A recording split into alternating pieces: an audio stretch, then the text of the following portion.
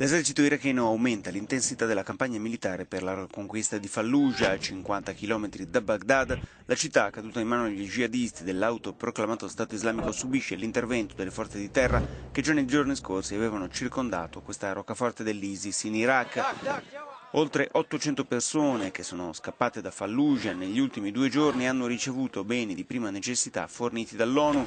Alahin parla delle condizioni di vita della popolazione locale. Nella mia regione sono due anni e mezzo che le famiglie subiscono la presenza dell'ISIS che ha chiuso tutte le vie di accesso e di uscita alla città. Racconta, per la gente sono cominciati i problemi psicologici, tanti hanno scelto il suicidio, alcuni si sono dati fuoco, altri hanno annegato i loro figli.